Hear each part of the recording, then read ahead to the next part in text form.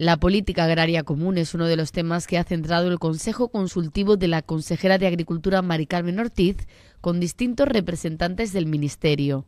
Se trata de analizar el futuro de estas ayudas de cara al año 2020 y de gestionar la política de precios actual que, según la consejera, es muy volátil. Lo mismo están al alza que por los suelos, algo que no se pueden permitir los agricultores andaluces. La ministra en su momento dijo cuando estaban altos que que lo iba a estudiar. Desde la Consejería de Agricultura siempre dijimos en el Consejo Consultivo que hace falta eh, buscar un equilibrio de la cadena de valor y de los precios, porque hay que buscar los mecanismos y estudiar los precios cuando supuestamente están altos, que es verdad, como digo, que ha habido una semana en la que han estado altos, pero de nuevo han bajado estrepitosamente y hay que estudiar por qué.